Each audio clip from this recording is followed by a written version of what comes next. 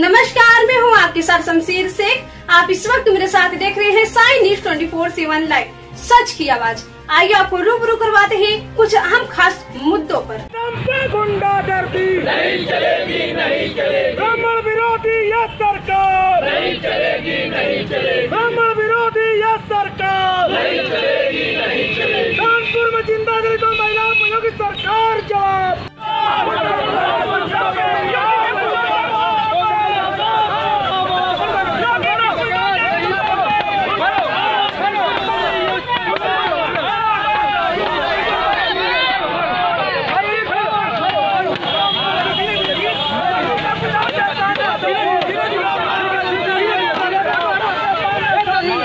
आज हम लोगों की उत्तर प्रदेश कांग्रेस कमेटी के द्वारा जो कानपुर में घटना हुई, एक ब्राह्मण परिवार को ज़िंदा जला दिया गया और प्रशासन के सारे जिम्मेदार अधिकारियों के सामने बुलडोजर के माध्यम से छप्पर को पलट दिया गया, आग लग गई, लोग ज़िंदा जल गए। उसी घटना को लेकर के आज हम लोगों ने धरना प्रदर्शन किया।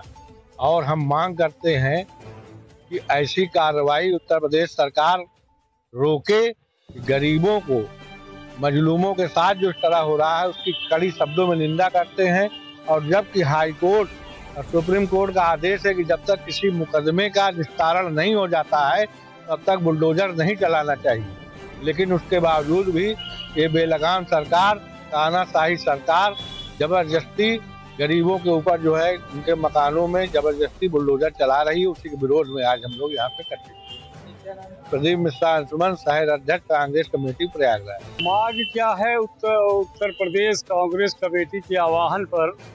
कानपुर में, जरूरा क्षेत्र में घटना घटी है कि बुलडोजर लेके प्रशासन तोड़फोड़ कर रहा है।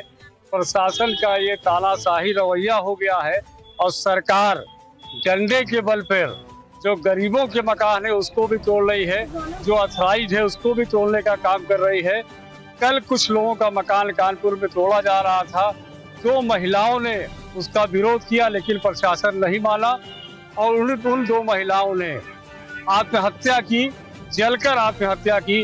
अब पुलिस प्रशासन और जिला प्रशासन वहाँ का मूक दर्शक बनकर देखता रहा, और महिलाएँ जलती रही इतनी हृदय विदारक घटना इतिहास में शायद पहली बार हुई है। इससे ये प्रतीत होता है कि प्रदेश की सरकार और देश की सरकार जन विरोधी सरकार है। इनके यहाँ गरीबों का कोई मतलब नहीं है। ये पूंजीपतियों की सरकार है हटधर्मी सरकार है, जो कानून के खिलाफ जाकर के, संविधान के खिलाफ जाके काम करने का काम करती है।